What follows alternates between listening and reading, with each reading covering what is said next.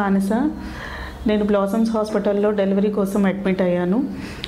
నాకు thirty వీక్స్కే delivery ఎమర్జెన్సీలో చేశారు. నా బేబీ వెయిట్ వచ్చి థౌజండ్ గ్రామ్సే ఉన్నాడు.